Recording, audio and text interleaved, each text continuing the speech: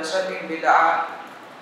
وكل بدعة ضلالة وكل ضلالة في النار. أما بعد فقد قال الله تعالى في كلامه المجيد. وفي فرقانه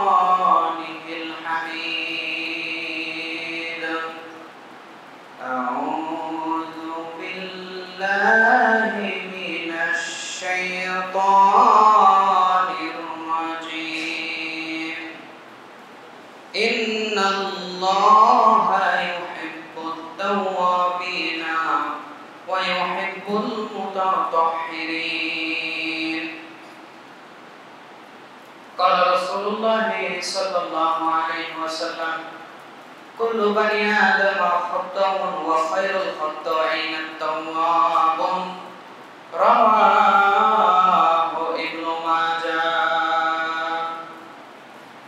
প্রশংসা সেই মহান মনি আল্লাহ রব্বুল আলমিনের জন্য করছি যে আল্লাহ রব্বুল আলমিন লক্ষ্মীপুরের লক্ষ্মীপুর জেলার অন্তর্গত রাজীবপুরের হাবরুল উম্মা মডেল মাদ্রাসা এবং মসজিদ থেকে আমাদেরকে জুমার খুতবা দেওয়ার এবং কতককে শোনার আল্লাহ রব্বুল আলমিন তৌফিক দিচ্ছেন। আল্লাহ রব্বুল আলমিন আমাদেরকে সুস্থ রেখেছেন। আল্লাহ রব্বুল আলমিন আমাদেরকে ভালো রেখেছেন। আল্লাহ রব্বুল আলমিন আমাদেরকে পেরেশানি মুক্ত রেখেছেন। আল্লাহর প্রশংসা আমরা সবাই করছি, সবাই বলছি আলহামদুলিল্লাহ আল্লাহ রব্বুল আলমিনের নামের দ্বারা আওয়াজ কি একটু বেশি হচ্ছে নাকি? বক্সের আওয়াজ ঠিক আছে? আচ্ছা। আল্লাহ রব্বুল আলমিনের আশ্রয়ে, আল্লাহ রব্বুল আলমিনের নাম স্মরণ করাতে অনেক রকম ফায়দা ফজিলত রয়েছে। বেশ এক এক মাস আগে হয়তো বা জুমার কুরবাতে আমি এসেছিলাম, একটা ফজিলত বলেছিলাম যে আল্লাহর প্রশংসা করলে বান্দার অনেক লাভ হয়। আজকে তার আরেকটা বলি বান্দা যদি আল্লাহর প্রশংসা করে, আল্লাহ শয়তান থেকে বান্দাকে হেফাজত করে।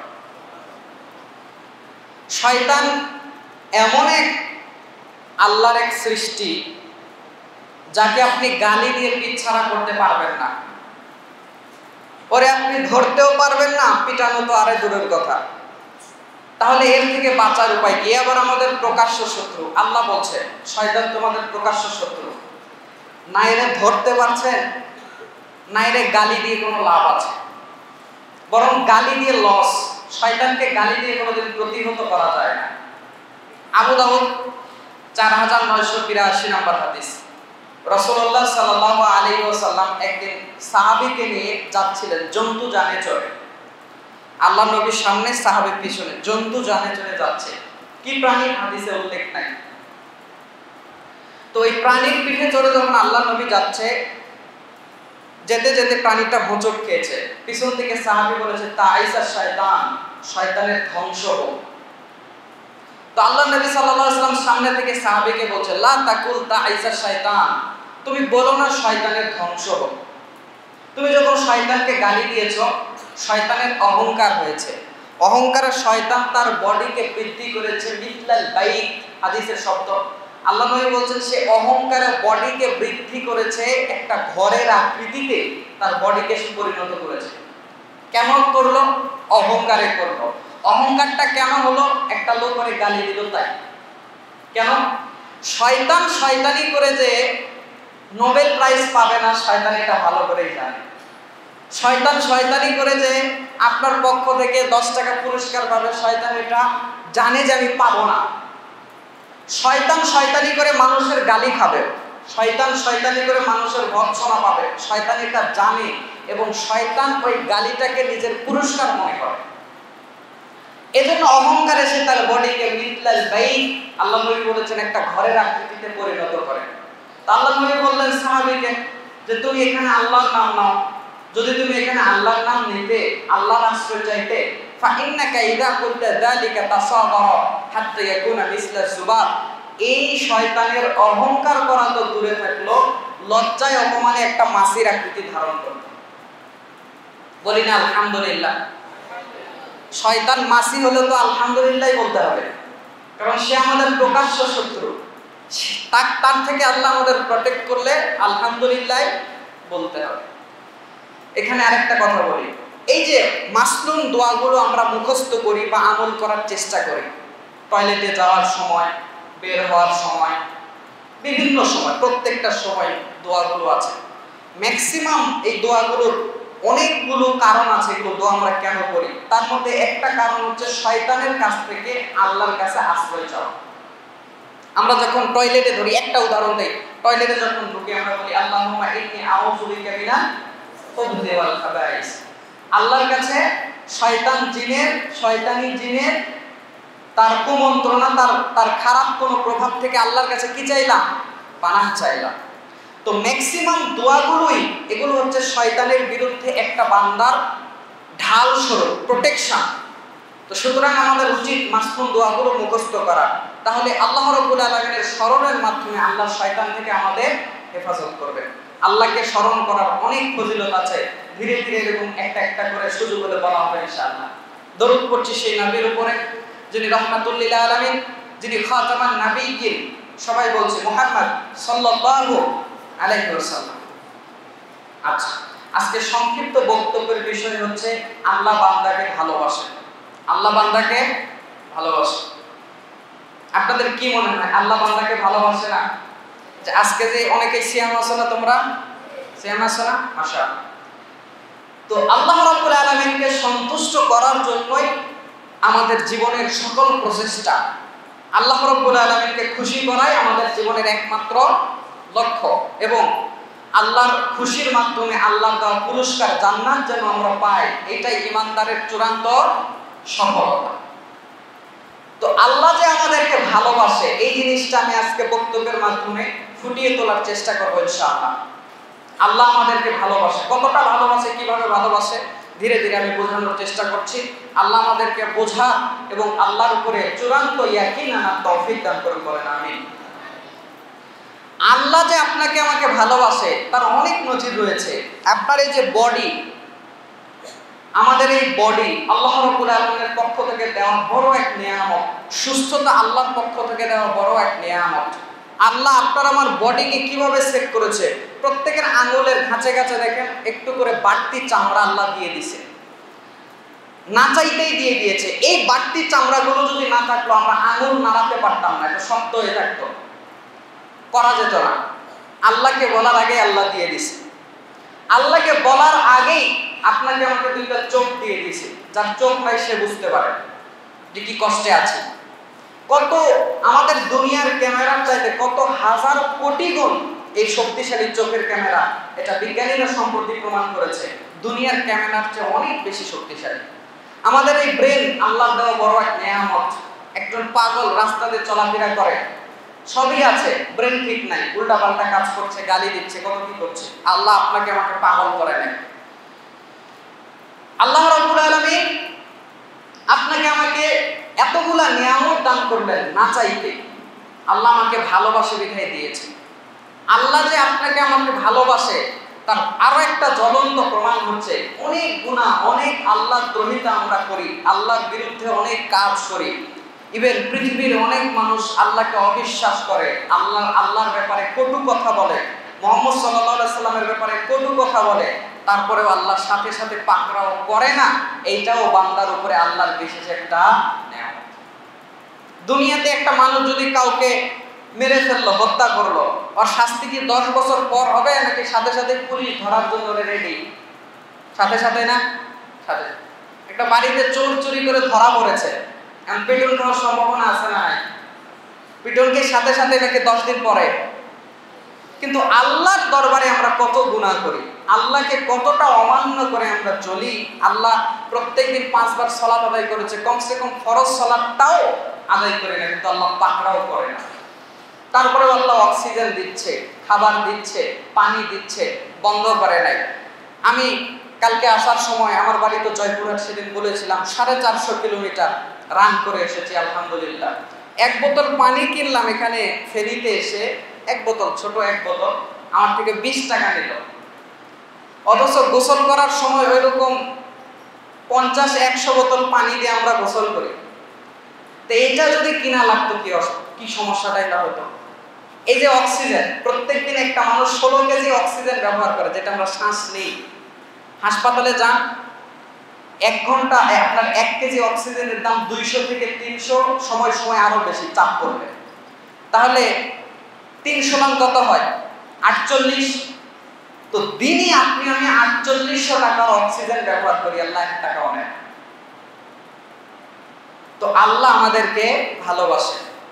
আজকে যে মেইন পয়েন্টের উপরে কথা বলব, সেটা হলো, আল্লাহ আমাদেরকে এতই ভালোবাসে যে আল্লাহ আমাদেরকে জাহান নামে দিতে এখানে এই এই এই লাইনটা আজকে বিশ্লেষণ করব। আল্লাহ আপনাকে আমাকে জাহান নামে দিতে চায় না। আপনার আমার কি মনে হয়? আল্লাহর কথা যখনই স্মরণে আসে, প্রত্যেকটা মানুষের চিন্তার মধ্যে আসে, আল্লাহ জাহান নামে দেবে। আল্লাহ আগুনে পোড়াবে। আল্লাহ এই শাস্তি দিবে। আল্লাহ ওই শাস্তি দিবে। হ্যাঁ এগুলো কথা ঠিক, এগুলো ভাবনাও ঠিক, কিন্তু পাশাপাশি আপনাকে এটাও ভাবতে হবে যে আল্লাহ আপনাকে ভালোবাসে, তিনি আসলে আপনাকে জাহান নামে দিতে চান না। তোমরা ছোট ছোট মানুষ আছো, ছোট ছোট অনেকেই আছো, কথাগুলো খেয়াল করবা। গতবার আমি এসেছিলাম, এসে দেখলাম যেহেতু ম্যাক্সিমাম ছাত্র ছোট, এদের যেন বোধগম্য হয়, এরকম কিছু কথা বলতে হবে। যেন এরা বুঝতে পারে, অনেক উঁচু কথা ছোটরা বুঝতে পারবে না। তো তাদের বোধগম্য হয় এরকম কিছু কথা আমি আজকে বক্তব্যে রেখেছি, ইনশাআল্লাহ। আল্লাহ একটা বান্দাকে প্রকৃতপক্ষে জাহান নামে দিতে চায় না। তার কয়েকটা নজির দেখায় একটা মানুষ যে জাহান নামে যাবে, বড় বড় কারণগুলোর মধ্যে একটা কারণ হচ্ছে গুণা বেশি হওয়া। গুণা কি হওয়া? বেশি হওয়া। তো যেই মানুষের গুণা অনেক বেশি হবে, আল্লাহ রবুল আলমী তাকে জাহান নামে দেবেন বলে ঘোষণা করেছে। তিরিশ পারাতে এরকম অনেক আয়াত আছে। আল্লাহ বলছে যার যার ওজনের পাল্লা হবে ভারী, তার চেহারা হবে হাস্যোজ্জ্বল। যার ওজনের পাল্লা হবে হালকা, তার চেহারা হবে মলিক মানে যার নেকির পাল্লা হালকা হবে, সে তাকে তো এবার জাহান নামে যেতে হবে। তার চেহারা মলিন হয়ে যাবে। আবার একদল আছে যাদের গুনার পাল্লা, নেকির পাল্লা ভারী হবে, তাদের মুখ হবে হাস্যোজ্জ্বল, এরা জান্নাতি হবে। তো একটা মানুষ জাহান নামে যাবে, তার সবচেয়ে বড় কারণ হচ্ছে গুণা বেশি হওয়া। কিন্তু আল্লাহ তো বান্দাকে জাহান নামে দিতে চান না। আবার কোরআন, হাদিস দ্বারা এটাও বোঝা যায় যে গুণা বেশি হলে জাহান নামে যেতে হবে। তাহলে আল্লাহর জাহান নাম থেকে বাঁচতে গেলে গুণা কমাতে হবে। গুণা কি করতে হবে? কমাতে হবে। প্রত্যেকটা মানুষ গুনার, অন্যায় কাজ করার, পাপ কাজ করার বিশেষ কিছু ক্ষতিকর প্রভাব আছে। এর উপর একটা লেকচার হতে পারে। গুনার প্রভাব বা গুনার গুণা করার ক্ষতিকর দিক, ওইটা আসতে পারে। অন্য সময়, ইনশাআল্লাহ। এই গুণা করার ফলে একজন ইমানদার তার নেক কাজ করার যে তৃপ্তি, এটা হারিয়ে ফেলে। তার অন্তরের শান্তি সে হারিয়ে ফেলে। রসুল্লাহ সাল্লাহ সাল্লাম বলছেন, এই হাদিসটা একটু মাজা তিন নাম্বার খণ্ড, একত্রিশ নাম্বার পর্ব, হাদিস নাম্বার বিয়াল্লিশ শত চুয়াল্লিশ, তাওহিদ প্রকাশনী কর্তৃক ছাপানো। রসল্লাহ সাল্লাহ আলাইসাল্লাম বলেছেন যে একটা বান্দা যখন গুণা করে, একটা বান্দা যখন পাপ করে, নোক্তাতুন সাউদা ওফি কলবি, তার অন্তরের মধ্যে নোক্তার মতো একটা কালো দাগ পড়ে যায়। এরপর আল্লাহ নবী বলছেন, ফাইন তাবা ওয়া নাযাআ ওয়াস্তাগফারা সুকিলা কলবু সেই বান্দা যদি আল্লাহর কাছে তার ওই অন্যায়ের ব্যাপারে ক্ষমা চায়, আল্লাহ তার অন্তরটাকে পরিষ্কার করে দেয়। আর যে এরকম করে না, আল্লাহ তার অন্তরের কালো দাগ বাড়াতেই থাকে বাড়াতেই থাকে। এই কালো দাগের মানে কি? একটা মানুষ, দেখেন গুনার প্রভাব কতটা বেশি, গুনার ক্ষতিকর দিক কতটা বেশি, একটা মানুষ যখন অন্যায় করে, তার উপরে এটা কতটা প্রভাব ফেলে? যেই মানুষ নিয়মিত গুণা করে, ওর অন্তরে কোনো শান্তি থাকে না। যেই মানুষটা নিয়মিত আল্লাহ দ্রোহিতায় লিপ্ত থাকে, আল্লাহ রব্বুল আলমিন তার অন্তর থেকে শান্তিকে তুলে নেয়। অনেক সময় আপনার আমার মুখ থেকে বের হয় না, বলি না যে ভালো লাগছে না, ভালো লাগছে না, ভালো লাগে না। এরকম কথা আমরা বলি না। আপনি কি বুঝেন আপনার কেন ভালো লাগে না? যারা বলে যে ভালো লাগছে না, আত্মার শান্তি নাই, মনের শান্তি নাই, তারা কি বোঝে কেন তাদের এই অবস্থা হয়? মানুষের অন্তরটা হচ্ছে ছোট বাচ্চার মতো। উদাহরণ দেখতে বোঝায় আপনার বুঝতে সুবিধা হবে। মানুষের অন্তরটা হচ্ছে ছোট বাচ্চার মতো। ছোট বাচ্চা সব সময় তার মায়ের কাছে থাকতে চায়, এটা বাচ্চার স্বভাব। কিন্তু বাচ্চাকে যদি কেউ একটু কোলে নিয়ে, বাইরে সরিয়ে নিয়ে আসে, একটু কোলে রাখার জন্য তো বাচ্চা কান্না শুরু করে দিবে দশ বিশ মিনিট পর, ছোট বাচ্চা। করেছে কি? হাতের মধ্যে একটা চকলেট ধরিয়ে দিয়েছে।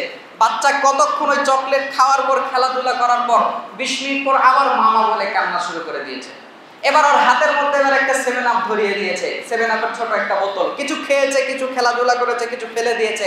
কিছুক্ষণ পর আবার মামা বলে কান্না শুরু করে দিয়েছে। এবার হাতের মধ্যে একটা আইসক্রিম ধরিয়ে দিয়েছে। কিছুক্ষণ খেলো, কিছুক্ষণ খেললো, ফেলে দেওয়ার পর আবার মামা বলে কান্না শুরু করে দিয়েছে। বাচ্চাকে কিছুতেই শান্ত করা যাচ্ছে না, খালি মামা বলে কান্না করে। এরপর কতক্ষণ পর বাচ্চাকে তার মায়ের কোলে ফেরত দেওয়া হয়েছে? বাচ্চা আর কাঁদে না এমনি ভালো হয়ে গেছে এতক্ষণ বাচ্চা যে কাঁদলো কি জন্য? চকলেট পাওয়ার জন্য, আইসক্রিম পাওয়ার জন্য, সেভেন আপ পাওয়ার জন্য? না, বাচ্চা আসলে তার মায়ের কাছে যাওয়ার জন্য কান্নাকাটি করছিল। মায়ের কাছে দেওয়া হয়েছে, বাচ্চা এমনি ভালো, এবার চকলেট লাগে না, আইসক্রিম লাগে না, সেভেন আপ লাগে না, বাচ্চা এমনি চুপ করে আছে, এমনি শান্ত আছে। তো মানুষের অন্তরটা হচ্ছে ছোট বাচ্চার মতো, এটা সব সময় তার রবের সন্তুষ্টির মধ্যে থাকতে চায়। এই অন্তরটা সবসময় আল্লাহর গোলামের মধ্যে থাকতে চায়। নকশ মানুষের কখনো আল্লাহ দ্রোহিতার কাছে লিপ্ত হতে চায় না। আপনি, আমি সব সময় অন্তরকে ব্যস্ত করে রাখি অনেক কিছু দিয়ে। যখন ভালো লাগে না, দশ মিনিট গান শোনার জন্য কানের মধ্যে ইয়ারফোন ঢুকিয়ে দিল। কিছুক্ষণ ভালো লাগে, লাগার পর আবার অস্থিরতা কাজ করে। আবার কিছুক্ষণ সে সিনেমার সামনে গিয়ে বসল, মোবাইলে সিনেমা জুড়ে দিল। সিনেমা চালু করে দিল, দেখছে সিনেমা। দেখতে দেখতে দুই ঘণ্টা পার হয়ে গেল। কিছুক্ষণ ভালো হয়েছিল আবার মন খারাপ হয়ে যায়, ভালো লাগে না। কিছুক্ষণ চার দোকানে গিয়ে বসল সে মনে করল, চার দোকানে বসলে একটু গল্প করলে মন ভালো হবে। কিছুক্ষণ ভালো থাকল, যতক্ষণ ছিল, উঠে আসলো, আর ভালো লাগে না। আসলে আপনার অন্তর সিনেমা দেখার জন্য এতক্ষণ কান্নাকাটি করে নাই। আপনার অন্তরটা আপনার অন্তরটা গান শোনার জন্য চায় নাই। আপনার অন্তরটা এতক্ষণ চার দোকানে বসে থাকতে চায় নাই। আসলে সে তার রবের সন্তুষ্টির মধ্যে থাকতে চাচ্ছিল। বাচ্চা যাই এরকম মায়ের কাছে গিয়ে শান্ত থাকতে চায় মানুষের অন্তর, মানুষের সত্তা আল্লাহর গোলামির দিকে গিয়ে শান্ত থাকতে চায়। কিন্তু আপনি, আমি আল্লাহর কাছ থেকে অন্তরকে সরে নিয়ে এসেছি। আপনি চলে গেছেন মসজিদ থেকে অনেক দূর, সলাত আদায় করতে আসেনি না ভুল করে? আল্লাহর সন্তুষ্টির কোনো কাজে আপনাকে পাওয়া যায় না, মোটেও আপনি আসেন না। আসলে এই কারণগুলোর কারণে, আল্লাহর থেকে আপনার অন্তর সরিয়ে নিয়ে যাওয়ার কারণে বাচ্চা যেরকম মায়ের কাছ থেকে সরিয়ে নিয়ে যাওয়ার কারণে, মায়ের কাছ থেকে দূরে যাওয়ার বিরহে বাচ্চা কাঁদে। অন্তর ঠিক তেমনি আল্লাহ রব্বুল আলমিনের সন্তুষ্টি থেকে দূরে সরিয়ে নিয়ে গেলে আল্লাহর সঙ্গে তার সম্পর্ক ছিন্ন হওয়ার বিরহে অন্তর কাঁদে। গুণা এত খারাপ গুনার মাধ্যমে অন্তরের শান্তি উঠে চলে যায়, ভালো কাজ করার স্পৃহা মন থেকে উঠে চলে যায়। তাহলে আমাদেরকে গুণা কমাতে হবে না হবে না? আরেকটা কথা, আদম সন্তান যে গুণা মুক্ত থাকবে এ কথাও ঠিক নয়। আদম সন্তানের দ্বারা গুণা হবে এ কথাই ঠিক। এই হাদিসটাও ইবনু মাজা তিন নম্বর খণ্ড, একত্রিশ নম্বর পর্ব বিয়াল্লিশ শত একান্ন নম্বর হাদিস। আলাইহি সাল্লাম বলেছেন, কুল্লু বানিয়া প্রত্যেক আদম সন্তান ভুলকারী প্রত্যেক আদম সন্তান পাপকারী, সবচেয়ে ভালো ভুলকারী পাপকারী হচ্ছে সে যে ভুল করে তার আল্লাহর কাছে ক্ষমা চায়। আরেকটা হাদিস, শয়তান আদম সন্তানের পিছে এমন ভাবে লেগে আছে যে গুনাহ করিয়েই ছাড়বে। এটা মিশকাতুল মাসাহাবি তিন নম্বর খণ্ড, দশ নম্বর পর্ব, হাদিস নম্বর তেইশ শত চুয়াল্লিশ, হাদিস একাডেমি কর্তৃক ছাপা মিশকাতুল মাসাহাবি রাসূলুল্লাহ সাল্লাল্লাহু আলাইহি ওয়াসাল্লাম বলছেন যে, ইন্না শাইতানা কম। বলছিলাম, আদম সন্তান কেন গুনাহগার হবে? রাসূলুল্লাহ সাল্লাল্লাহু বলছেন যে, ইন্না শাইতানা কম। নিশ্চয় শয়তান বললেন ওয়া ইজ্জাতিকা রব। আপনার ইজ্জতের কসম করে বলছেন প্রতিপালক, লা আবরাহু উবুই ইবাদাকা মা দামাত আরওয়াহুহুম বিসাদিহিম শয়তান আল্লাহ ইজ্জতের কসম করে বলছে, আল্লাহ, আপনার বান্দাগুলোকে আমি জাহান্নামের দিকে নিয়ে যেতেই থাকব যেতেই থাকব যেতেই থাকব।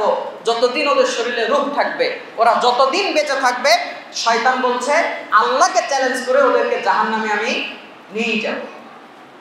তো আল্লাহ বলছে, শয়তান, তুমি আমার ইজ্জতের তিন, একটা কসম করেছ। আল্লাহ এবার তার সিও ইজ্জতের তিনটা কসম করে বলছেন, ওয়া ইজ্জাতি, ওয়া জালালি, ওয়া দিফাই আল্লাহ বলছেন, আমার ইজ্জতের কসম করলাম, আমার জালালিয়তের কসম করলাম, আমার সুচ্চ অবস্থানের কসম করে বললাম, আদম সন্তান যতদিন আমার কাছে ক্ষমা চাইবে, আমি আমার বান্দাগুলোকে ক্ষমা করে দিতে থাকি এই দুই হাদিস বললাম এজন্যই শয়তান আদম সন্তানকে গুনাহ করাবে, এ ব্যাপারে চ্যালেঞ্জ করেছে কার সাথে?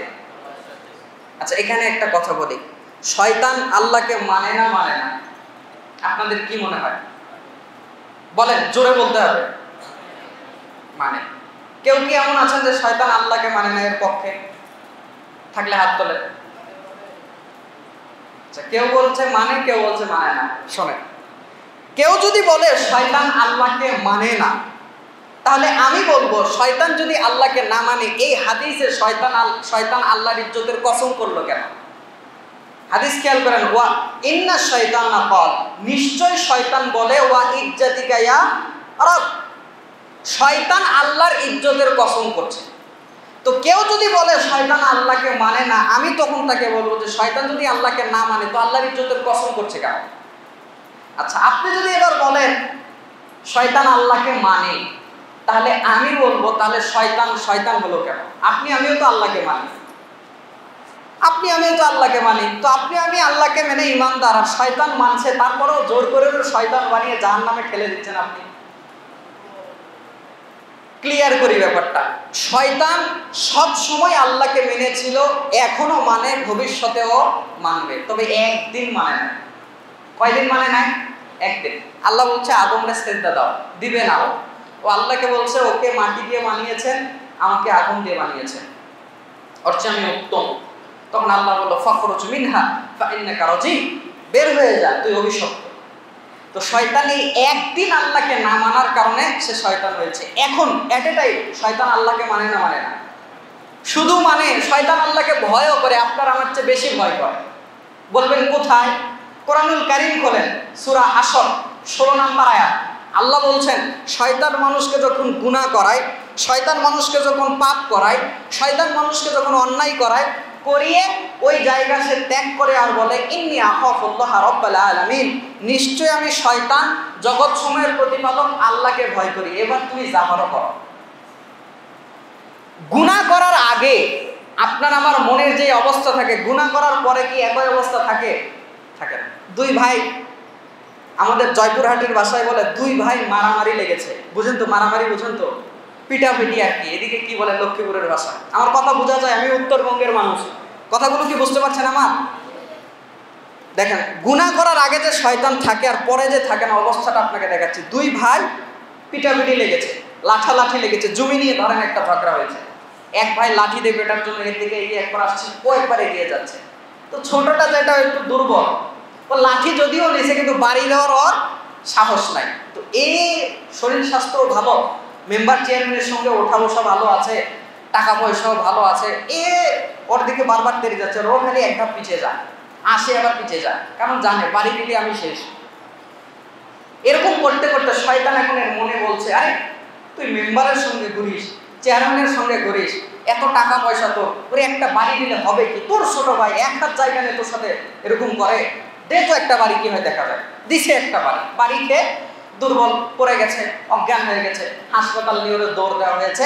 এখন এর নামে দেওয়া হয়েছে কেস টুকে। পুলিশ এখন এসেছে ধরে খুঁজে বেড়াচ্ছে ধরার জন্য।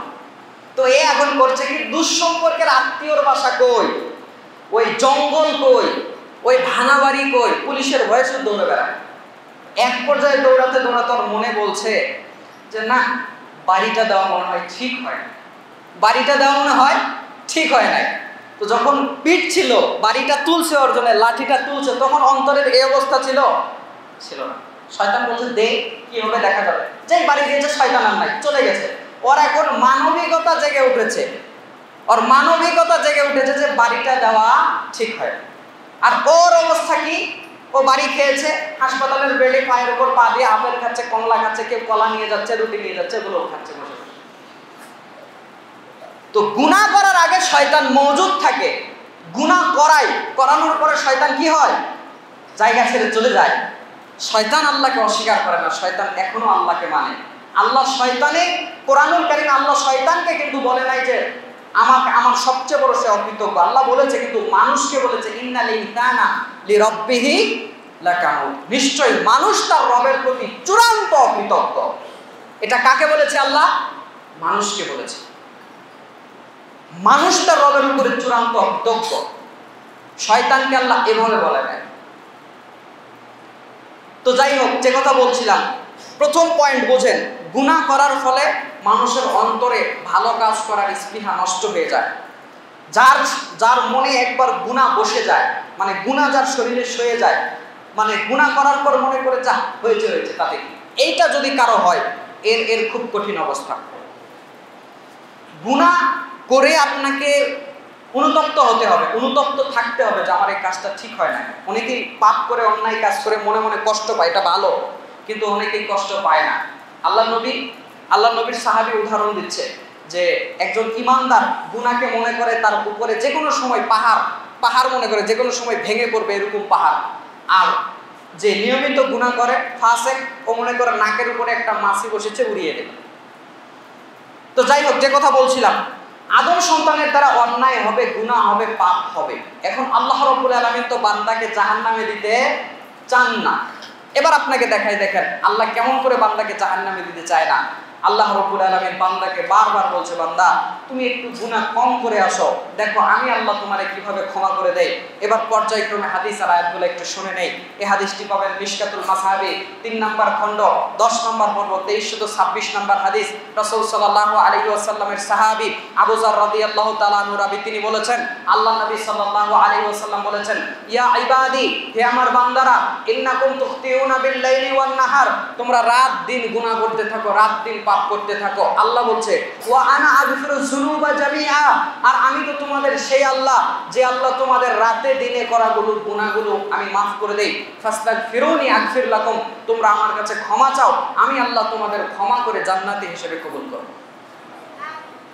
সহি মুসলিমের একটি হাদিস উল্লেখ করি। সহি মুসলিম ইসলামিক ফাউন্ডেশন কর্তৃক ছাপা ছয় নম্বর খণ্ড, হাদিস নম্বর ছয় হাজার সাতশত চৌত্রিশ রসুল্লাহ সাল্লামের সাহাবি আবু মুসা রদি আল্লাহ তালু হাদিস বর্ণনা করেছেন।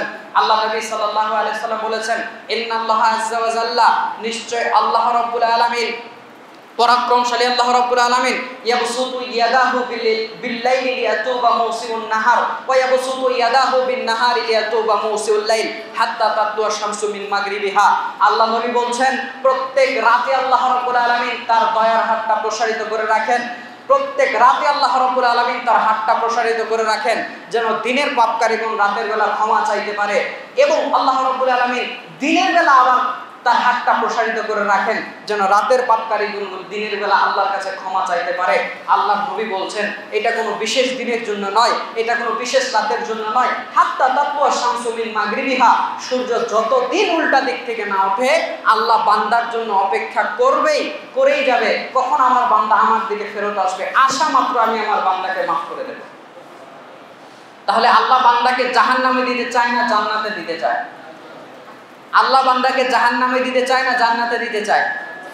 আচ্ছা এখানে আরেকটা কথা। সেটা হলো, এই হাদিস দ্বারা আরও প্রমাণিত হয় যে আল্লাহর কাছে বান্দা ফেরত যাওয়ার কোনো টাইম নাই। না রাত আছে, না দিন আছে, না কোনো হুজুর ধরতে হবে, নাকি হুজুরের মাধ্যমে যেতে হবে। হুজুর ধরা লাগবে? আল্লাহ বলছে, আমি রাতেও প্রস্তুত আছি বান্দা, তুমি আমার কাছে দিনের পাপগুলো রাতে ক্ষমা চাও, ক্ষমা করে দিনে তুমি গুণা করেছ, রাতে ক্ষমা চাও, ক্ষমা করে দেবো তুমি রাতে দিনে যে কোনো সময় আমার কাছে ফিরে ফেরত আসো, আমার কাছে ক্ষমা চাও, আমি আল্লাহ তোমাকে মাফ করে জান্নাতে হিসেবে কবুল আরেকটা কথা বলি, দুনিয়ার মানুষ অন্যায় করে, যদি অন্যায়ের ক্ষমা নিতে যায়, যেই ব্যক্তির কাছে ক্ষমা নিতে গেছে, ও কিন্তু সবসময় খুশি না। ধরেন একটা আম চোর, আম চুরি করছে গাছে, করার পর গিয়ে বলছে, চাচা, আপনার গাছের আম তিন দিন আগে চুরি হয়েছিল আমি চুরি করছি, আল্লাহর রাস্তে মাফ করে দেন। চাচা বলবে তিন দিন পর আসলি, সাথে সাথে আসলি না কেন? রাগ ঠান্ডা হলে আসলি পানিতে চোবায় চোবায় তোরা আধা মারা করতাম। মুখে মুখে যদিও মাফ করে দিল বা দিছে, আসলেও কি আনসরের উপরে চাচা খুশি? বুঝে বলতে হবে, আসলেও কি খুশি? খুশি না। বেটা, প্রথমবার আম ধরছে, কাঁচা বেটা আম, সব চুরি করে নিয়ে গিয়ে আবার ক্ষমা চাইতে এসেছি। তো সরম নাই, লজ্জা নাই। মনে মনে হয়তো বলবে, মুখে না বলবে। কিন্তু আল্লাহর কাছে যদি একটা বান্দা অন্যায় করার পর ফেরত যায়, আল্লাহ কি এরকম বহিঃপ্রকাশ দেখায়? ন আল্লাহ কি আল্লাহ আল্লাহ আল্লাহ খুশি হয়। হাদিসটা কোথায়? সহি মুসলিম, ছয় নাম্বার খণ্ড, ছয় হাজার সাতশো তিন, ছয় হাজার সাতশো আট নাম্বার হাদিস। রসুল্লাহ সাল্লাহ সাল্লাম উদাহরণ দিয়ে বুঝাচ্ছে, ও সাহাবিরা, তোমরা কি জানো, একটা বান্দা যখন আল্লাহর দিকে ফেরত আসে, আল্লাহ তার উপর কত বেশি খুশি হয়? সাহাবেকেরম বলছে না, জানি না। তো আল্লাহ নবী উদাহরণ দিয়ে বুঝাচ্ছে। অনেকের জানা সংক্ষিপ্ত করার জন্য বলছি, বোঝার জন্য। উদাহরণটা টানলাম, যে আল্লাহ অন্যায় করার পরও যদি বান্দা আল্লাহর দিকে ফেরত যায়, আল্লাহ খুশি হয়।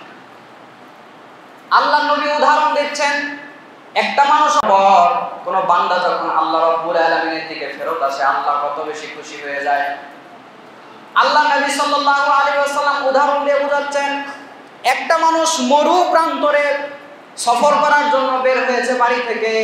বের হওয়ার পর সে দেখতে পাচ্ছে সে একটা পর্যায়ে চলে গেল, একটা বাহন নিয়েছে সে।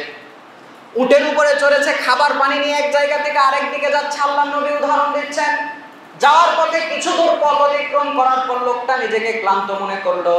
মনে করল, আমি ক্লান্ত হয়ে গেছি, আমার আর বেশি দূর যাওয়া সম্ভব না, একটু বিশ্রাম নেই। লোকটা এই কথা চিন্তা করে একটা গাছের নিচে বিশ্রাম নেওয়ার জন্য বসে গেল। উদ্দেশ্য ছিল কিছুক্ষণ বিশ্রাম নিয়ে আবার চলে যাবে। ঘুমানো তার উদ্দেশ্য ছিল না। লোকটা ওই জায়গাতে চলে গেল। যাওয়ার পরে বিশ্রাম নেওয়ার জন্য যখনই একটু বসেছে, ক্লান্ত মানুষ, গতিক মানুষ চোখের মধ্যে ঘুম চলে এসেছে। যখনই চোখের মধ্যে ঘুম চলে এসেছে, সে ঘুম থেকে উঠে কিছুক্ষণ পর তার সামনে খাবার পানি সহ যে বাহনটা ছিল ওই জায়গাতে নাই। খাবার, পানি সহ বাহনটা যেন কোন জায়গাতে চলে গিয়েছে। লোকটা চারিদিকে তার বাহনকে খুঁজলো, কোথাও সে খুঁজে পেল না। লোকটা এত দূর পর্যন্ত চলে গেছে, পিছন দিকেও সে ফেরত আসতে পারবে না। লোকটা এত দূর পর্যন্ত চলে গেছে, সামনের দিকেও সে যেতে পারবে না। বাহন ছাড়া আশেপাশে কোনো লোকজনও নাই, কোনো কাফেলাও নাই যে তাদের কাছে গিয়ে সে সাহায্য নেবে। লোকটা মনে করল, আমার আর বাঁচার আর কোনো উপায় নাই। আমার কাছে বাহন নাই, খাবার নাই, পানি নাই, আমি কেমন করে সামনের পথ অতিক্রম করব অথবা নিরাপদ জায়গাতে যাব? লোকটা মনে করল বাঁচার আর কোনো উপায় নাই, সে মনে করল যেই জায়গাতে আমি ঘুমিয়েছিলাম, ওই জায়গাতে আবার যাই এবং ঘুমাতে ঘুমাতে আমি ওই জায়গাতে আল্লাহ দুনিয়া ছেড়ে চলে যাই, এই নিয়ত করে আবার ঘুমিয়ে গেল। লম্বা হাদিস সংক্ষেপ করে বলছে, তার চোখে আবার ঘুম চলে আসলো। ঘুম থেকে ওঠার পর তার সামনে বাহনটা খাবার পানি সহ যখন সে দেখতে পারল আল্লাহ নবী সাল্লাল্লাহু আলাইহি ওয়াসাল্লাম বলছেন, লোকটা এমন বেশি খুশি হয়ে যায়, কথা উল্টা করে বলে ফেলে, আল্লাহ, আপনি আমার, আমি আপনার রব আর আপনি আমার গোলাম। কথা উল্টা করে ফেলেছে, অনেক বেশি খুশি।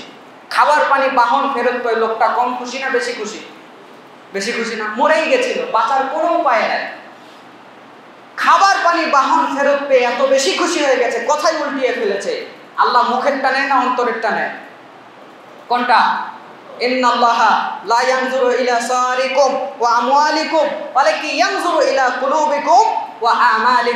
আল্লাহ সাল্লাল্লাহু বলছেন নিশ্চয় আল্লাহ বান্দার কাপড়, চোপড়, পরিধেয় বস্ত্র, টাকা পয়সা, এগুলো কি আছে কিচ্ছু দেখে না, চেহারা কীরকম আছে দেখে না, বাহ্যিক দিক দেখে না, তার পকেটও দেখে না, তার সম্পদও দেখে না, বরং আল্লাহ দেখে, ওয়ালাকি ইয়ানজুরু ইলা কুলুবিকুম ওয়া বরং আল্লাহ রাব্বুল আলামিন বান্দার অন্তরা আমল দেখে। তো ওই লোকটা এত বেশি খুশি হয়ে যায় যে কথা উল্টিয়ে ফেলে। তো আল্লাহ নবী বলছে, ওই ব্যক্তিটা খাবার পানি বাহন ফেরত পেয়ে যত বেশি খুশি হয়ে যায়, একটা বান্দা অন্যায় করার পর আল্লাহর দিকে ফেরত আসলে আল্লাহ তার চেয়ে বেশি খুশি হয়ে যায়। তাহলে আল্লাহ বান্দাকে জাহান নামে দিতে চায় না জান্নাতে দিতে চায়? আল্লাহ বান্দাকে কত ভালোবাসে দেখুন।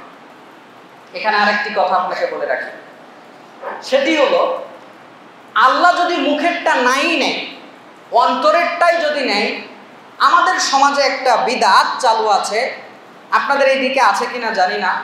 মুর্দাকে সামনে নেয়। নেওয়ার পর একজন বলে, লোকটা কেমন ছিল? সবাই বলে, আলহামদুলিল্লাহ, ভালো ছিল। এদিকে আছে তার মানে অভ্যাস আছে যে বলে ফেলছে। বলে না এদিকে? আচ্ছা। এই যে কথাটা বলল, এটা কতটুকু গ্রান্টেড হলো? মানুষকে আপনি বলিয়ে দিলেন, লোকটা মারাত্মক খারাপ একটা লোক। আর আপনি আলহামদুলিল্লাহ বলিয়ে নিলেন মানে কি, লোকটা জান্নাতে চলে গেল নাকি? আচ্ছা এই আমলটা প্রতিষ্ঠিত হলো সমাজে কীভাবে? এই হাদিসটা আমি ইন্ডিয়ার এক মাহফিলে গিয়ে বলেছিলাম। ইন্ডিয়ার হুজুররা আমাকে ধরে নিয়েছে। বলছে, হুজুর, এই যে হাদিস বললেন, এটা কোথায় আছে দেখান। আমি বের করে দেখিয়ে দিলাম, তারপর আমাকে ছেড়েছিল ইন্ডিয়ার ওটা মুর্শিদাবাদের বাবুপুরে একটা মাহফিল, গত বছরের আগের বছর। গিয়ে ওই প্রোগ্রামে এই হাদিসটা আমি বলেছিলাম। কোন হাদিসটা? এই যে আমাদের সমাজে এই যে সামনে জানাজা দাঁড় করিয়ে নিয়ে আলহামদুলিল্লাহ বলিয়ে নেই এই আমলের পিছনের দলিল হচ্ছে আবু দাউদ সহ বিভিন্ন হাদিস গ্রন্থে হাদিসটা আছে। আল্লাহ নবী বলছেন, একটা মানুষের মৃত্যুর পরে চল্লিশ চল্লিশটা ব্যক্তি যদি এরকম ইমানদার, শির করে নাই, এরকম ইমানদার যদি চল্লিশ জন এক ব্যক্তির ব্যাপারে আল্লাহর কাছে সুপারিশ করে যে আল্লাহ লোকটা ভালো ছিল, মাফ করে দেন, এই চল্লিশ জন সুপারিশ করার কারণে আল্লাহ বান্দার সুপারিশকে কবুল করে নিয়ে তাকে মাফ করে দেবে। হাদিস সহি, অনেক রেওয়ায়ত থেকে হাদিস আছে। আপনার লাগলে নিয়ে যাবেন আমার কাছ থেকে হাদিস নাম্বারগুলো, প্রয়োজন হলে। তো এই হাদিসটা যে চল্লিশ জন সুপারিশ করলে লোকটা কোথায় যাবে? জান্নাতে যাবে, আল্লাহ মাফ করে দিবে। তো হুজুর এখন বুঝে নিয়েছে যে চল্লিশ জন আলহামদুলিল্লাহ বললেই মনে হয় জান্নাত। আরে বাবা, হাদিসটা যেভাবে এসেছে, ওইভাবে আমল করো। লোকটা যদি ভালো হয় এমনি লোকজন তার ব্যাপারে আল্লাহর কাছে সুপারিশ করে যে, আল্লাহ, লোকটা ভালো ছিল, মাফ করে দিয়েন, আল্লাহ। এরকম চল্লিশ জন যদি ইমানদার, আরেকজন ইমান আছে, এরকম ভাইয়ের সম্পর্কে বলে, আল্লাহ তার ব্যাপারে সুপারিশ কবুল করবেন। মানে আল্লাহ তাকে মাফ করে দেবেন। তাহলে দুনিয়ার জীবন কীভাবে কাটাবেন, সেভাবে কাটিয়ে যায়। লোকজনকে কষ্ট দিয়েন না, রাস্তাঘাটে হুদাই বেড়া দিয়ে রেখেছে, ওর ধানের ভার যেন যেতে না পারে আর মোটর সাইকেল যেন যেতে না পারে, গাছ লাগিয়ে রেখে দিয়েছে। মানুষের সঙ্গে এমন আচরণ করে দুনিয়া থেকে চলে যান যেন মানুষ আল্লাহর কাছে আপনার জন্য দোয়া করে। গত খুতবাতে একটা হাদিস বলেছিলাম কিনা আমি জানি না। অনেক মানুষ আছে যারা জাহান নামে যাবে, আরেকজন ভালো মানুষের সুপারিশ এসে জাহান নাম থেকে বের হয়ে আসবে। হাদিসটা সম্ভবত বলেছিলাম। তা আজ আর টানছি না ওই হাদিসটা। সুতরাং দুনিয়াতে ভালো আচরণ করে আমরা চলি, আল্লাহ তৌফিক দান করুক, বলেন আমি আচ্ছা তাহলে আল্লাহ বান্দার দিকে ফেরত আসলে আল্লাহ বান্দার উপরে খুশি হয়ে যায়। তার আরও কয়েকটি আলামত আপনাকে দেখাই।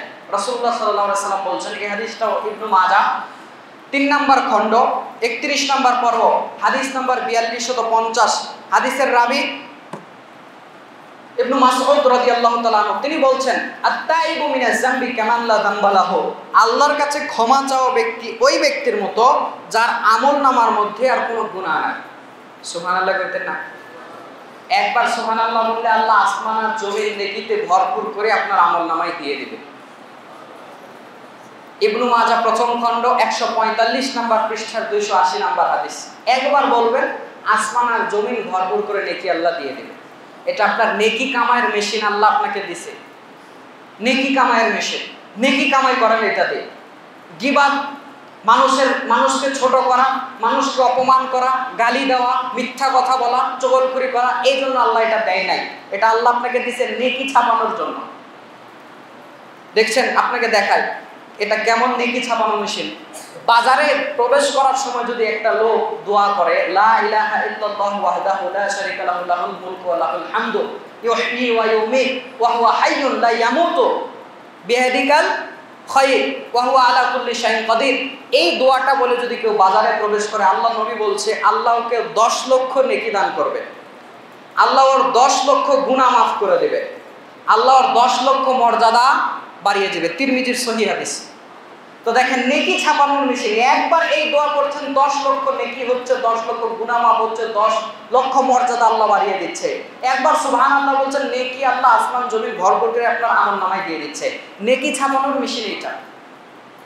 আপনি আমি এটাতে গুণা ছাপাচ্ছি বোকামি করছি। আল্লাহ আমাদেরকে বোঝার তৌফিক দান করে বলেন আমি তো ইবনু মাসউদ রাদিয়াল্লাহু তাআলা বলছেন আল্লাহ তার বান্দাকে কত ভালোবাসে? আল্লাহ যখন আল্লাহর কাছে যখন বান্দা ক্ষমা চায়, আল্লাহ বান্দার আমল নামাকে একদম পরিষ্কার সাদা করে দেয়। তার মানে একটা ব্যাপারে আপনি আল্লাহর কাছে ক্ষমা চেয়েছেন, ওই ব্যাপারে আমল নামাতে আল্লাহর কোনো গুণা রাখে কিন্তু দুনিয়ার হিসাব কি?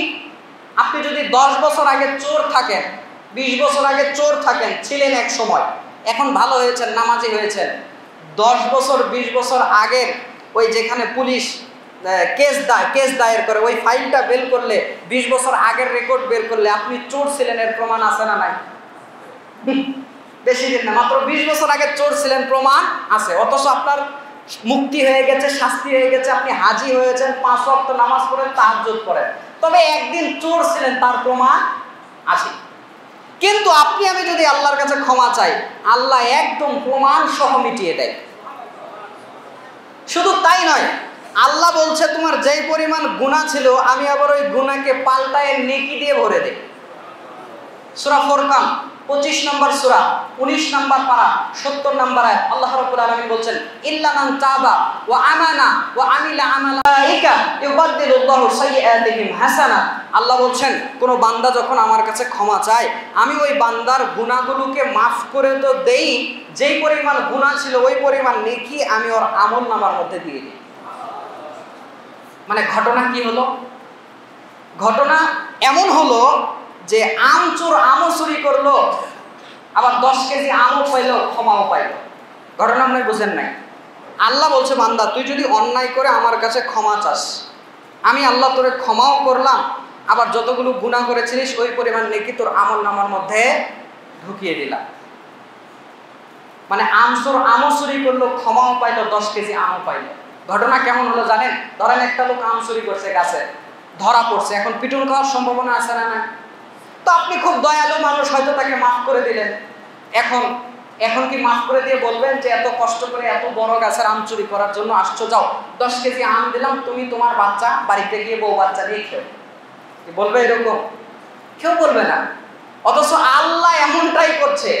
মানে আল্লাহর কাছে আপনি অন্যায় করলেন আল্লাহর কাছে ধরাও পড়লেন, ধরাও দিলেন। আল্লাহ মাফও করল, আবার আল্লাহর সাথে সাথে বলছে গুণা পরিমাণ নেকিও তোমাকে দিয়ে দিলাম। আমসুর আমও চুরি করল, ক্ষমাও পেল, এক বস্তা আমও পেল। তো এটা দুনিয়ার কোনো মানুষ করবে না, এটা আল্লাহ করে বান্দার জন্য। তাহলে আল্লাহ বান্দাকে ভালোবাসে না বাসে না? জাহান নামে দিতে চায়? চায় না। আল্লাহর রাগ বেশি নয়, আল্লাহর দয়া বেশি, এটা আপনি ভাববেন সব সময়। সব সময় আল্লাহর কথা স্মরণ হলেই মাথায় যেন এটা না আসে যে আল্লাহ আমাকে জাহান নামে দেবে, শাস্তি দিবে জাক্কুম ফল খাওয়াবে, গরম পানি খাওয়াবে, এই শাস্তি দিবে, ওই শাস্তি দিবে। এই ভাবনাগুলো করার পাশাপাশি আপনি এটাও ভাববেন যে আল্লাহ আপনাকে ভালোবাসে। আচ্ছা আল্লাহ যে ভালোবাসে, এরকম শব্দে কোরআনে মনে হয় আয়াত নাই। অনেক আয়াত আছে। আমার কাছে যে নোটটা আছে, ওখানে আমি দশটা আয়াত আমি নোট করে রেখেছি। তার একটা দুটা বলছি, শোনেন। সুরা বাকারা দুই নম্বর সুরা, দুই নম্বর এক দুইশত বাইশ নম্বর আয়াতে আল্লাহ রব্বুল আলামিন বলছেন, ইন্নাল্লাহা ইউহিব্বুত তাওয়াবিনা ওয়া ইউহিব্বুল মুতাতাহহিরিন ইন্নাল্লাহা ইউহিব্বু। আল্লাহ আল্লাহ নিজে বলছে যে, নিশ্চয়ই আমি আল্লাহ ভালোবাসি। তার প্রতি আমার মহাব্বত আছে যে আমাকে সন্তুষ্ট করার জন্য পবিত্র থাকে এবং আমার দিকে প্রত্যাবর্তন করে। তাহলে আল্লাহ বান্দাকে ভালোবাসে। কোরআনের নজির আছে না নাই? আছে। আচ্ছা বান্দাও আল্লাহকে ভালোবাসবে, এটাও কোরআনে আছে। একশো পঁয়ষট্টি নাম্বার সুরা বাকারা, আল্লাহ রব্বুল আলমিন বলছে, ইমানদার যারা হবে যারা ইমানদার হবে, তাদের অন্তরে একমাত্র শক্ত ভালোবাসা কার থাকবে? আল্লাহ। তার মানে বান্দাও আল্লাহকে ভালোবাসবে, এটা বান্দার জন্য উচিত এবং আল্লাহ বান্দাকে ভালোবাসে। তো আল্লাহর দয়া বেশি রাগ বেশি নয়। আপনি খোলেন সহি মুসলিম, পাঁচ নাম্বার খণ্ড, ইসলামিক ফাউন্ডেশন কর্তৃক ছাপা সৃষ্টির সূচনা অধ্যায় উনত্রিশ শত সাতষট্টি নাম্বার হাদিস। রাসূলুল্লাহ সাল আলী আসাল্লাম বলেছেন লাম্মা কাদাল্লাহুল খালক কাতাবা ফি কিতাবি, ফাহুয়া ইনদাহু ফাওকাল আরশি, ইন্না রাহমাতি গালাবাত গদাবি আল্লাহ রাব্বুল আলামিন যখন সৃষ্টি কাজ সমাধা করলেন, আল্লাহ রাব্বুল আলামিন যখন সৃষ্টি কাজ শেষ করলেন, তখন আরশের কাছে একটা কিতাবের মধ্যে লিখলেন, ইন্না রহমাতি গালাবাত গদাবি নিশ্চয় আল্লাহর রাগ, নিশ্চয় আল্লাহর শাস্তি তার দয়ার উপরে জয়লাভ করেছে। তাহলে আল্লাহর রাগ বেশি না দয়া বেশি? দয়া বেশি। আরও দলিল দেয় আপনাকে, আপনি খোলেন তিরমিজি, পঁয়ত্রিশ শত একচল্লিশ নাম্বার হাদিস তিরমিজি। রসল্লাহ সাল্লাহ সাল্লাম বলেছেন, খলাকাল্লাহ মিয়াতা রহমা। আল্লাহ একশোটা দয়া রহমত সৃষ্টি করেছেন। কয়টা? একশোটা। করে আল্লাহ বলছেন, নিরানব্বইটা তার নিজের কাছে রেখে দিয়েছেন। আর একটা দয়া রহমত বলেন, ভালোবাসা বলেন, ওইটা পুরা পৃথিবীর সৃষ্টি, যত প্রাণী আছে, সবার মধ্যে ভাগ করে দিয়েছে। কথা বুঝছেন প্রত্যেককে একটা করে দেয় নাই। আমি বলেছি, একটাকে পুরা পৃথিবীর মধ্যে ভাগ করে দিয়েছেন। মানে ওই এককে কেটে কেটে ভাগ করে করে করে করে করে করে পৃথিবীর শুরু থেকে এ পর্যন্ত শুধু মানুষ নয়, আদম আলাহিসাল্লাম থেকে শুরু করে এ পর্যন্ত যত মানুষ এসেছে, যত গরু, ছাগল, পিঁপড়া, বাঘ, সিংহ, হরিণ, যত প্রাণী পৃথিবীতে আছে, যত এসেছে চলে গেছে, বর্তমানে আছে, ভবিষ্যতে আসবে। সবাই মিলে পেয়েছে কতটুকু? একটুকু, কেটে কেটে ভাগ করে করে আল্লাহ সবার মধ্যে দিয়ে দিয়েছে। পৃথিবীতে যত ভালোবাসা দেখতে পান, এটা তারই বহির প্রকাশ পৃথিবীতে যত ভালোবাসা আপনি দেখেন, মানুষের বলেন আর পশু প্রাণীর বলেন, যত ভালোবাসা আপনি দেখতে পান, যত দয়া রহমত দেখতে পান, সবাই এক পার্সেন্টের কিছু পাওয়ার কারণে প্রত্যেক প্রাণী দেখায়। আপনি বাবাকে ভালোবাসেন। ওই এক পার্সেন্টের কতটুকুই আপনি পেয়েছেন, সে কারণে আপনি বাবাকে ভালোবাসেন, মাকে ভালোবাসেন, স্ত্রীকে ভালোবাসেন। স্ত্রীর মাধ্যমে আল্লাহ একটা বাচ্চা দিয়েছে। ওই বাচ্চাকে কত আদর করেন? পিঠে চুমু দেন, পেটে চুমু দেন, মাথায় চুমু দেন। যেই জায়গাতে দেওয়ার কথা না, ওই জায়গাতেও দেন। বোঝেন নাই মনে হয়? এই যে বাচ্চাকে এত আদর যত্ন কেন করছেন, কি কারণে করছেন? ওই এক পার্সেন্টের কিছু পেয়েছেন তাই। আপনি দেখুন ওই এক পার্সেন্টের কতটুকুই একটা মুরগি পেয়েছে? হঠাৎ মাঠের মধ্যে যখন মুরগি তার বাচ্চাকে নিয়ে ঘুরছে, হঠাৎ ঝমঝম করে বৃষ্টি নেমেছে। মুরগি দেখছে যে বাচ্চাগুলোকে সাইডে নিয়ে যাওয়ার সময় নাই, যেতে যেতে বাচ্চাগুলো ভিজে যাবে। ওখানেই মুরগি বাচ্চাগুলোকে পেটের তলে নিয়েছে। পুরো মুরগির গা ভিজে একদম সপসপে হয়ে গেছে। কিন্তু বাচ্চার গায়ে মুরগি পানি করতে দেয়নি। মুরগির বাচ্চাকে তখন ধরার জন্য শ্রীগাল আসে। আপনাদের এদিকে কি বলে? আমরা শিয়াল বলি, শ্রীগাল বলি। এদিকে কি বলে? শিয়াল। ওই দেখবেন মুরগির বাচ্চাকে ধরতে এসেছে, ওই মুরগি শিয়ালকে আক্রমণ করে। কিন্তু ওই শিয়াল মুরগির বাচ্চা না ধরে মুরগি ধরতে পারে না। যে প্রতিবাদ করতে গেছে মুরগিটাকে শিয়াল ধরতে পারে না, পারে। কিন্তু এত রিস্ক নিয়েও শিয়ালের সঙ্গে মুরগি যুদ্ধ করে, তার বাচ্চাকে বাঁচানোর জন্য। কেন? বাচ্চাকে সে ভালোবাসে। কেন ভালোবাসে? ওই মুরগিও এক পার্সেন্টের কিছু অংশ পেয়েছে তাই পৃথিবীতে অনেক মাকড়সা আছে। মাকড়সা চেনেন? দেখবেন পড়ে থাকে, খোসা, শুধু খোসা, ভিতরে কিছু নাই। এরকম খোসা দেখেছেন মাকড়সার কখনো? দেখেছেন আপনারা? আপনাদের মনে প্রশ্ন টেনশন কিছু নাই কেন? কেন নাই জানেন? পৃথিবীতে অনেক সৃষ্টি আল্লাহ এরকম করেছে মাকড়সার কিছু প্রজাতি আছে। যারা জন্মের পরই যে বাচ্চাগুলো ডিম থেকে ফোটে, ওই বাচ্চাগুলোর মায়ের শরীরের মাংস খায়। খেয়ে খেয়ে বাচ্চাগুলো বড় হয়। মা তার শরীরকে, জীবনকে ওই বাচ্চার জন্য সঁপে দেয়। বাচ্চা খেয়ে খেয়ে খেয়ে খেয়ে মায়ের বডিও শেষ হয়ে যায়, বাচ্চা তখন অ্যাডাল্ট হয়ে যায়, বড় হয়ে যায়, সে নিজে শিকার করে এখন খেতে পারে। এই জন্য ওগুলো খোসা হয়ে পড়ে থাকে। তো দেখেন, ওই মাকড়সা তার বাচ্চার জন্য জীবন উৎসর্গ করে দিল। কেন? ওই এক পার্সেন্টের মাকড়সাও কিছু পেয়েছে তাই। বনের মধ্যে আমরা দেখেছি অনেক ভিডিওতে, ইউটিউবে অনেক ভিডিওতে দেখা যায়, বাঘ এসে হরিণকে শিকার করে নিয়ে চলে যাচ্ছে। হরিণ আর হরিণীর বাচ্চা একসাথে চলছে। বাঘ এসেছে মা চাইলে পালিয়ে যেতে পারে দৌড়ে, তো মা পালিয়ে যায় না। জানে যে আমি যদিও পালিয়ে যাই, ছোট বাচ্চা পালাতে পারবে না, বাঘ আমার বাচ্চাটাকেই ধরে নেবে। মা করে কি? বাঘের সামনে নিজেকে সঁপে দেয়, বাচ্চাকে পালিয়ে যাওয়ার সুযোগ করে দেয়। বাঘের এমন এই আচরণ রয়েছে, বাঘ মানুষের মতো এত খারাপ না, ওর যতক্ষণ পেটে ক্ষুধা না লাগে, ও কাউরে শিকারও করে না, আর ওর কাছে খাবার থাকা পর্যন্ত সে অন্য শিকারে হাত দেয়। আমরা কি করি? আমাদের পকেট ভর্তি টাকা, তাও এটাও ভরাতে হবে। উপরের দুইটা ভরছে, নিচের দুইটাও ভরাতে হবে। বাড়িতে আলমারি এখন ফাঁকা আছে, ওখানেও ভরাতে হবে। কত খারাপ মানুষ নিচে নেমে গেছে। জানোয়ারদের আচরণও ভালো আছে মানুষের চাইতে। অনেক ব্যাপারে তাদের আল্লাহ তো এমনি আর বলে নাই যে, সুম্মা রদাব নাহু আসফালা সাহাফিরে একবার বলছে যে, উত্তম অবয়বের সৃষ্টি করেছি। করার পর বলছে, ওকে আবার সর্বনিম্নে ফিরিয়ে চেয়েছি মানে ও এখন কুকুরের চেয়েও খারাপ, শুকুরের চেয়েও খারাপ শ্রীগালের চেয়েও খারাপ, বাঘের চেয়েও খারাপ। এরকমও কিছু মানুষ আছে।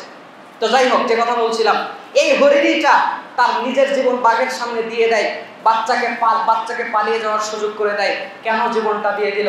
তা সেও এক পার্সেন্টের কিছু পেয়েছে এই জন্য তো এতগুলো কথা আমি কেন বললাম? এক পার্সেন্টের কিছু অংশ পেয়ে যদি আপনার আমার এই অবস্থা হয়, ওই হরিণের, ওই মাকড়সার, ওই মুরগির পৃথিবীর প্রাণীদের এই অবস্থা হয়।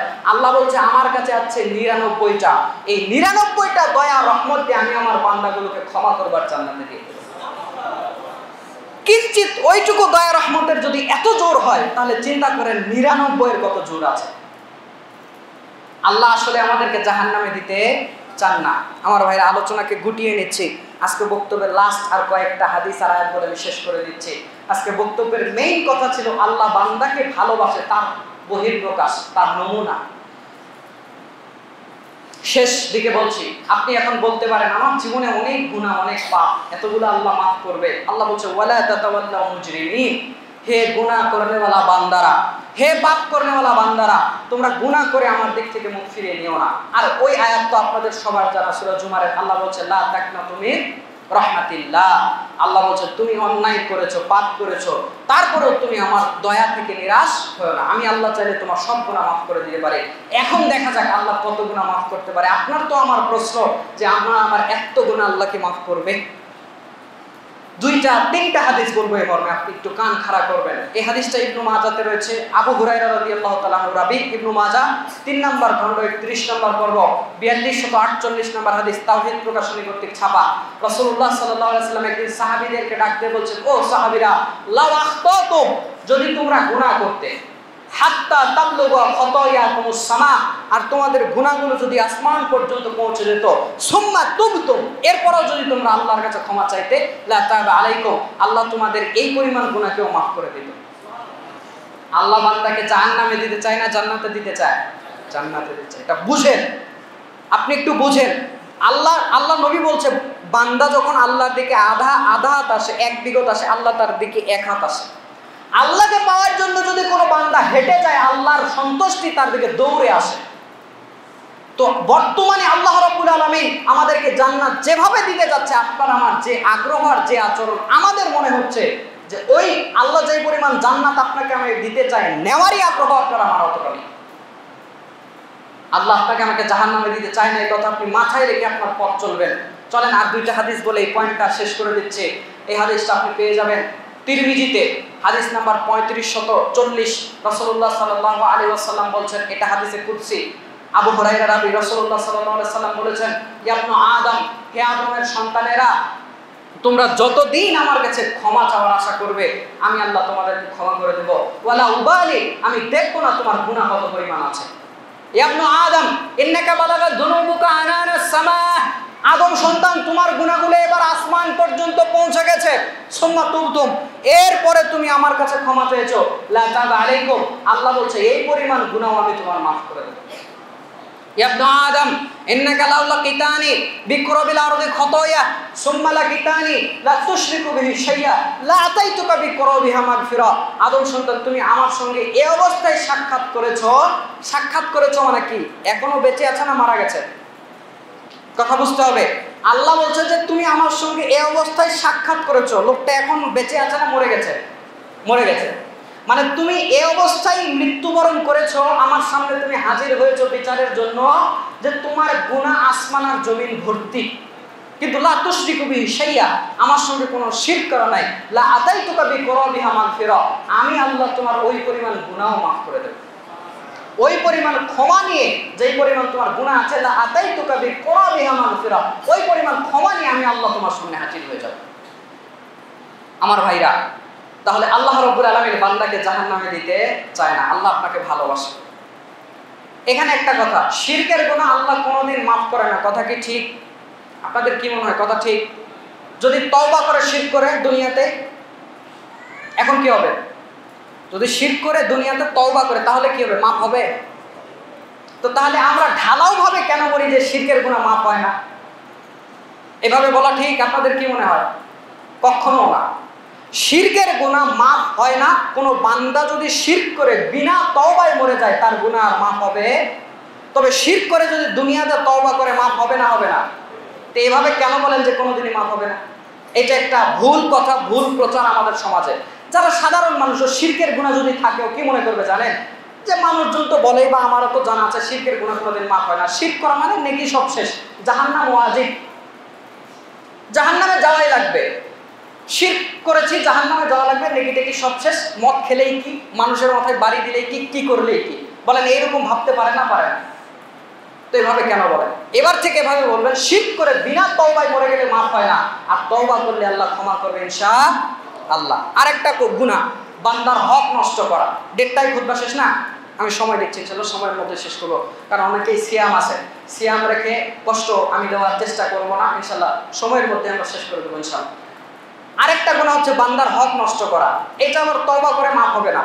যার হক নষ্ট করেছেন, যারা থাপ্পড় দিয়ে সম্মান নষ্ট করেছেন, যাকে চোর বলে আপনি ট্যাগ লাগিয়ে যার সম্মান নষ্ট করেছেন, ওর কাছে গিয়ে ক্ষমা নিতে হবে, ওর টাকা ফেরত দিতে হবে, কারণ জমি যদি মেরে দেন, জমি ফেরত দিতে হবে।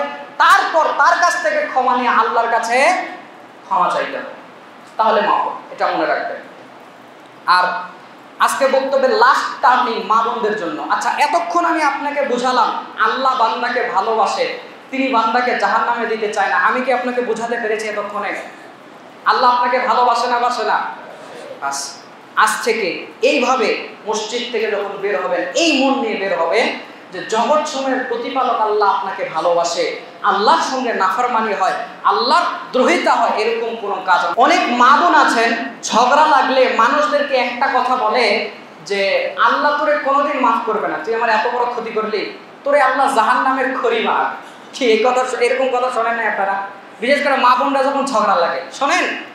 আল্লাহর এত দয়া, রহমত আপনি ছোট করে দিলেন, বলছেন, আল্লাহ মাফ করবে না। যেই ব্যক্তি এই কথা বলবে, আল্লাহ ওরেই জাহান নামে দিবে, বলেন না আউজুবিল্লাহ মিশকাতুল মাসাহাবি তেইশশত চৌত্রিশ নম্বর হাদিস। জুন্দুব রাদি আল্লাহ তালা তিনি বলেছেন রাসুল্লাহ সাল্লাহ সাল্লাম বলেছেন যে, আন্না রজুলান কল, মানুষের মধ্যে থেকে এক ব্যক্তি বলল ফুলান। আমি আল্লাহর কসম করে বললাম, আল্লাহ অমুককে মাফ করবে না। একটা লোক বলল যে, আল্লাহ ওরে কখনো মাফ করবে না। তখন আল্লাহ এই এই- কথার পরিপ্রেক্ষিতে বলে, মান জাআল্লাযী ইয়াতাআল্লা আলাইয়া ইন্নি, মান জাআল্লাযী ইয়াতাআল্লা আলাইয়া আন্নি লা আগফিরু লি ফুলান। তুমি এই কথা বলার কে যে আমি ওরে মাফ করব না? ফা ইন্নি কদ গফারতু লি ফুলান ওয়া আহবাতু আমালাক। যাও, আমি ওই ব্যক্তিকেই মাফ করে দিলাম, তোমার আমল সব নষ্ট করে দিলাম। কথা বুঝতে পারলেন? এই হাদিসের আরেকটা ব্যাখ্যা হাদিস আছে, একটু পরে তেইশ শত সাতচল্লিশে বিশকাতুল মাসাহাবি।